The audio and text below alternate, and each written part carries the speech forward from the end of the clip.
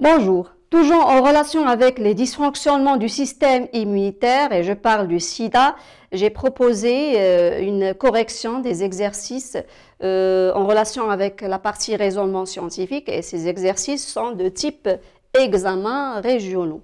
Donc toujours euh, troisième année collège, parcours international. On commence par le premier exercice. Chez un patient atteint de sida, et on sait que le sida, c'est la phase, la dernière phase de l'infection par le virus VIH, c'est-à-dire le virus d'immunodéficience humaine acquise. On a étudié à partir de la contamination par le VIH l'évolution du nombre des lymphocytes T4. Et on sait que les lymphocytes T4 sont les cellules cibles, les cellules hôtes. Ce sont ces cellules euh, qui représentent la cellule cible, bien sûr, de VIH et la quantité du virus dans le sang, ainsi que la concentration plasmatique des anticorps anti-VIH. Donc, une personne qui est euh, atteinte par ce, virus, on va bien sûr détecter la présence des anticorps anti-VIH euh, au niveau du sang. Et là, on va parler de la séropositivité ou bien la séronégativité. Si la personne est séropositive, c'est-à-dire euh, le sang ou bien le plasma, il renferme des anticorps anti-VIH. Et la personne, elle est dite séronégative si le plasma, il ne renferme pas des anticorps anti-VIH. Voilà. Donc voilà le document. Euh, euh, en vert, les lymphocytes T4. Voilà la courbe, les lymphocytes T4. En bleu, on a la concentration des anticorps anti-VIH. Et voilà en gris la concentration euh, du VIH, de ce virus-là. Et là, on a la concentration des lymphocytes T4 par millimètre cube du sang et la concentration des anticorps anti-VIH et les virus. Voilà, donc la phase de la contamination au cours du temps. Qu'est-ce qu'on voit? Une augmentation des lymphocytes T4, une diminution de ces lymphocytes jusqu'à une disparition. Euh, pour les anticorps, on voit une augmentation progressive après une chute jusqu'à disparition. Et pour le VIH, on voit une augmentation après une diminution, après une augmentation. D'accord? Donc, on va passer directement vers les réponses des questions. Comment expliquez-vous l'augmentation du nombre des lymphocytes T4 et de la concentration des anticorps anti-VIH durant les 12 premiers mois qui ont suivi la contamination? Donc, voilà pour le document, qu'est-ce qu'on voit? Pendant les 12 premiers mois qui ont suivi la contamination, qu'est-ce qu'on voit? Une augmentation du taux de lymphocytes T4. Comment on peut expliquer ça? Donc, on sait que les lymphocytes T4, ce sont ces cellules qui vont activer les deux réponses immunitaires spécifiques, euh, humorales et cellulaires. Et humorales, on sait que c'est par l'intermédiaire des lymphocytes B qui sécrètent les anticorps spécifiques. Et là, qu'est-ce qu'on voit? On voit une augmentation progressive des, euh, des lymphocytes T4. Même chose pour les anticorps anti-VIH.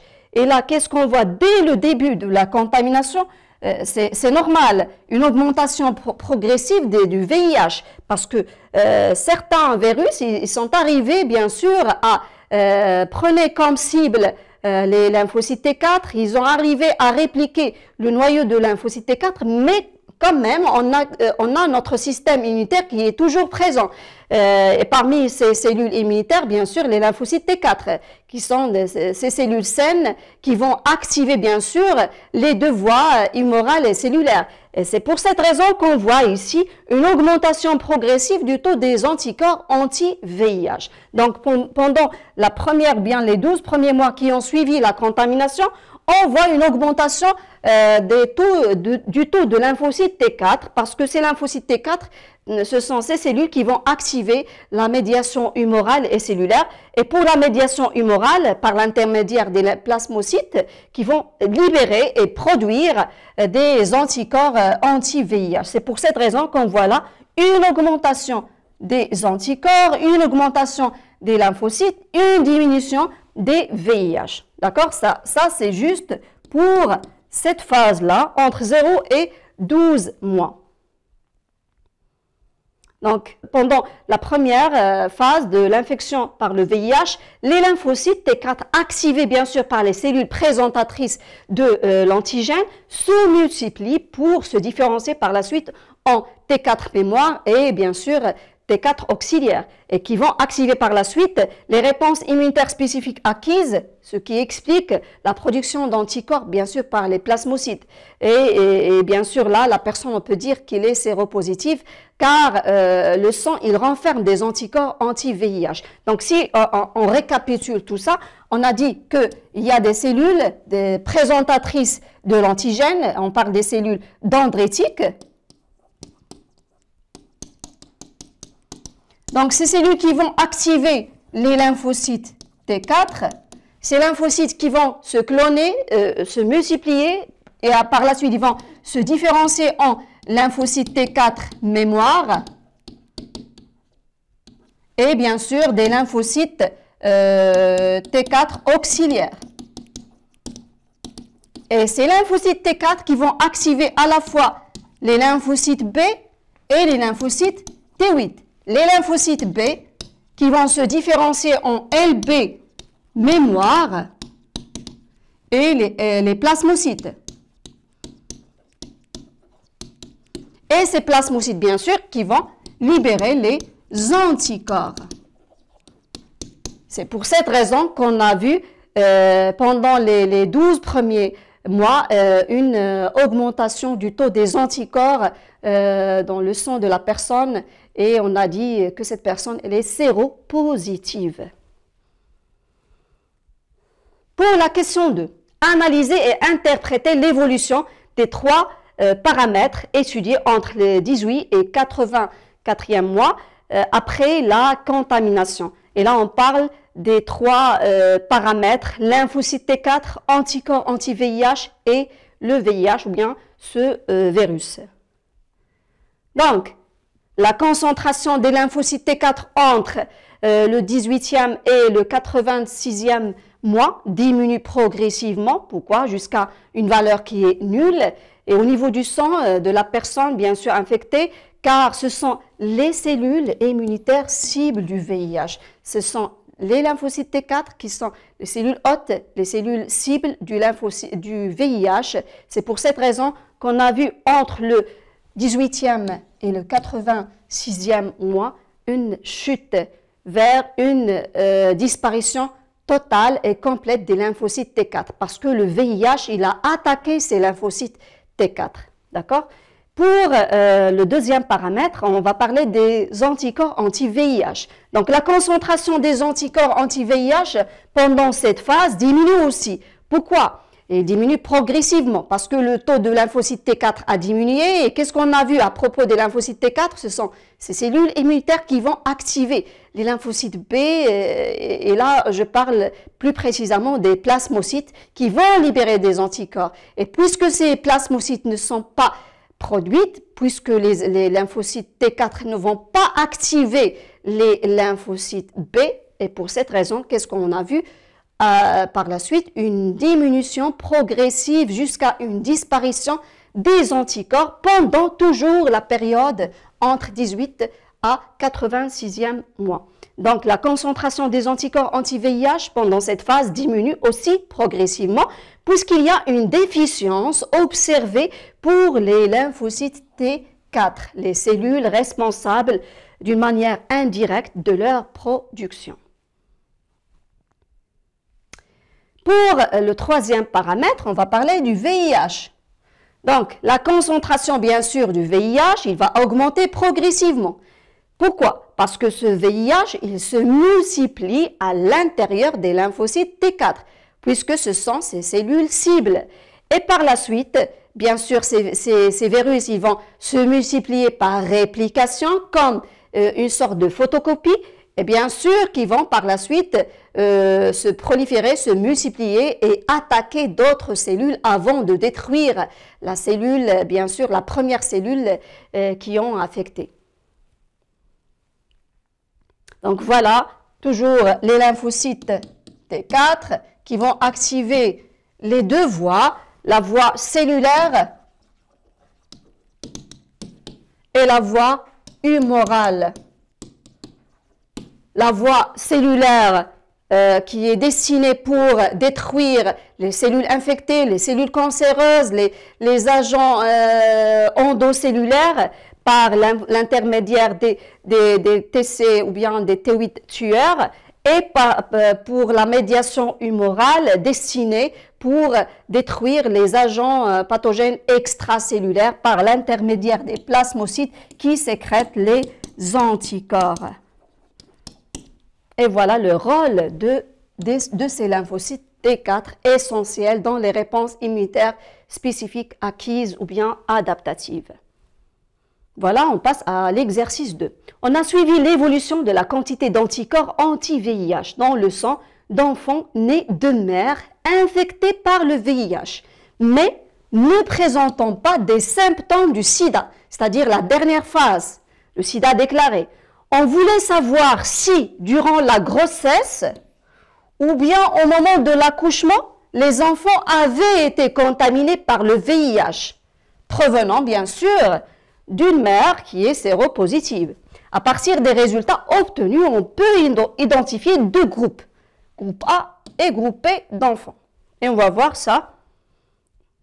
Donc, on sait que, en outre, que durant le dernier trimestre de la grossesse, vous avez, déjà vu ça euh, pendant lorsque vous avez étudié la reproduction chez l'homme, le rôle du placenta, chez toutes les femmes enceintes, les anticorps maternels passent au niveau du placenta, du sang de la mère dans celui du fœtus. Je parle du dernier trimestre de la grossesse. Donc il y a passage des anticorps, des hormones. Et là, qu'est-ce qu'on voit? Passage des anticorps pendant cette phase-là, le dernier trimestre. Donc si la maman, est séropositive, il y a des anticorps qui se trouvent au niveau du sang de, de, la maman. Et eh bien, par la suite, si on passe dans cette phase de la grossesse, c'est-à-dire le dernier trimestre de la grossesse, il arrive que des anticorps anti-VIH, ils vont passer vers le sang du fœtus. Et bien sûr, le bébé qui va naître par la suite, euh, le sang, il renferme ces anticorps. Et on va voir ça à partir des courbes. Donc voilà, les deux courbes euh, pour le groupe A, 41 enfants. Et pour le groupe euh, B, on a effectué des analyses sur 26 enfants. Donc voilà les deux courbes. Et là, on a le taux des anticorps anti-VIH par unité. Dès la naissance, qu'est-ce qu'on voit? Les deux enfants, ils représentent au niveau du sang des anticorps anti-VIH, provenant bien sûr de la maman séropositive. Mais qu'est-ce qu'on voit? Une chute progressive de ces anticorps. On a dit juste euh, anticorps, on n'a pas parlé de virus. Le sang, il, présente des anticorps anti-VIH, bien sûr provenant de la maman séropositive lors de la, grossesse. Parce qu'on a parlé, le dernier trimestre, il arrive que au niveau des placentas, il y a passage des anticorps vers le sang du fœtus. Première question, décrire l'évolution des quantités d'anticorps anti-VIH dans le sang des enfants des deux groupes. Deuxième question, expliquer pourquoi à la suite des tests de dépistage, lorsqu'on va détecter la présence ou non du VIH, du sida ou bien VIH, parce que sida c'est euh, la dernière phase, la, dernière étape. Les deux groupes d'enfants sont déclarés séropositifs à la naissance décrire l'évolution des quantités d'anticorps anti-VIH dans le sang des enfants des deux groupes. Ça, c'est pour la première question. Donc là, qu'est-ce qu'on voit? Si on veut euh, effectuer une description, on va décrire juste l'évolution des quantités d'anticorps anti-VIH dans le sang des enfants des deux groupes. Dès la naissance, qu'est-ce qu'on voit? On voit la présence des anticorps anti-VIH, euh, que ce soit pour le groupe A, que ce soit pour le groupe B. Donc, les deux. Mais qu'est-ce qu'on voit? On voit une diminution progressive jusqu'à une disparition pour les deux groupes. Là, il s'agit juste des anticorps anti-VIH. On n'a pas parlé de la présence du virus. D'accord? Donc là, décrire l'évolution des quantités d'anticorps anti-VIH dans le sang des enfants des deux groupes. Après, qu'est-ce qu'on voit? Une apparition des anticorps anti-VIH, mais ça, c'est juste pour le groupe A. Une apparition des anticorps anti-VIH. Euh, lorsque je dis présence des anticorps anti-VIH, c'est-à-dire il y a présence du virus. Et là, le groupe d'enfants qui euh, présente ou bien qui contient ou bien qui renferme ce virus, euh, bien sûr, c'est le groupe A. Parce que pour le groupe A, euh, on voit une apparition des anticorps anti-VIH. Par contre, pour le groupe B, on ne voit pas cette apparition. une fois les anticorps pendant le cinquième mois, ils sont disparus une fois pour toutes, d'une façon irréversible. Et voilà, donc, dès la naissance, la présence des, anticorps anti-VIH pour les deux, parce qu'on a dit pendant le, dernier trimestre de la grossesse, il arrive à, certaines fois que des anticorps, ils peuvent passer du sang de la maman vers le sang euh, du fœtus à travers euh, euh, cet organe, placenta. Mais là, qu'est-ce qu'on voit? Le taux des anticorps, il va diminuer progressivement. Après, qu'est-ce qu'on voit pour le groupe A? Une augmentation progressive. Mais là, une diminution euh, jusqu'à une disparition irréversible pour le groupe B. Et voilà l'interprétation de, de, la première question. À partir de la courbe, on voit une diminution progressive du taux d'anticorps dans le sang jusqu'à une disparition irréversible, c'est-à-dire une fois pour toutes pour le groupe B, mais pour le groupe A, on note une diminution, puis disparition des anticorps anti-VIH et on remarque une nouvelle production de ces anticorps à partir du moitié du, de la moitié du mois 4. D'accord? Une nouvelle production des anticorps, c'est-à-dire une nouvelle attaque par le VIH. La question de expliquer pourquoi, à la suite des tests de dépistage du VIH, les deux groupes d'enfants sont déclarés séropositifs à la naissance. Bien sûr qu'à la naissance, qu'est-ce qu'on a vu? La présence des anticorps anti-VIH. Euh, une personne qui renferme des anticorps contre un agent pathogène, il est dit séropositive. Et là, qu'est-ce qu'on a vu Dès la naissance, la présence, ou bien les tests de, dépistage ont montré qu'il y a euh, des anticorps anti-VIH. Donc, les deux groupes d'enfants sont euh, des, séropositifs, bien sûr.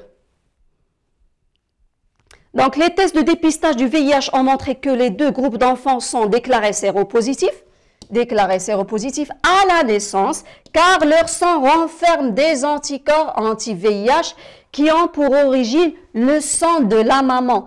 Car on sait que pendant le dernier trimestre, donc cette phrase on l'a pris à partir de, euh, bien sûr, euh, de l'énoncé. Car à partir ou bien pendant le dernier trimestre de la grossesse, les anticorps maternels passent au niveau du placenta vers le sang du fœtus. C'est pour cette raison qu'on a vu à partir de la naissance, on trouve au niveau du sang, ou bien euh, grâce au test de dépistage, on a trouvé la présence de, ces anticorps anti-VIH. Pour la question 3, retrouver l'origine des anticorps détectés dans le sang prélevé au bout de 5 mois chez le groupe A. Pour le groupe B, qu'est-ce qu'on a vu? Une disparition irréversible. Et pour le groupe A, qu'est-ce qu'on voit? Une apparition, moitié du quatrième mois, euh, entre le 4 et le cinquième mois, et une augmentation progressive des anticorps anti-VIH. Donc, retrouver l'origine des anticorps détectés dans le sang prélevé au bout de 5 mois chez le groupe A. Au bout de 5 mois, qu'est-ce qu'on a vu? Une apparition de, ces anticorps anti-VIH, c'est-à-dire ce groupe A, il est récemment infecté par ce virus, peut-être pendant l'accouchement et peut-être pendant l'allaitement, car on sait que le bébé, il reste toujours attaché à sa maman par, bien sûr, l'allaitement maternel. Donc, au bout de cinquième mois, on voit une nouvelle apparition des anticorps anti-VIH dans le sang du groupe d'enfants A. Et cela prouve que ces enfants sont récemment infectés par le VIH, récemment infectés. Une apparition, une infection qui est récente par ce VIH. Et là, préciser en le justifiant quel enfant a été contaminé au cours de la grossesse ou bien de l'accouchement et même pendant l'allaitement, bien sûr, c'est le groupe A. Parce que qu'est-ce qu'on voit là? Pour le groupe B, une disparition irréversible, c'est-à-dire il n'y a pas apparition d'anticorps anti-VIH. Par contre, le groupe A, il a montré une apparition, une nouvelle apparition des anticorps anti-VIH car ils sont récemment infectés par ce virus-là. Et bien sûr, la maman, elle est séropositive. Il ne faut pas oublier ça. C'est-à-dire, euh, son corps, il renferme des anticorps anti-VIH car elle est déjà infectée par le VIH. Donc, ce sont les enfants du groupe A qui sont infectés par le VIH au cours de l'accouchement et probablement aussi pendant l'allaitement et pas pendant la grossesse. Car si c'est le cas, les deux groupes d'enfants, ils vont montrer bien sûr un taux élevé d'anticorps anti-VIH dès leur naissance. Et ce taux, il va augmenter progressivement. C'est parce qu'on a vu une diminution après la naissance et une nouvelle apparition pour le groupe A et pas pour le groupe B. Donc, euh, cela prouve que c'est le groupe A qui est euh, nouvellement ou bien euh, récemment infecté par le VIH. Et là, soit que ce soit pendant l'accouchement, ou bien ça peut être le cas pendant l'allaitement. Et voilà pour cette séance. Merci et à la prochaine.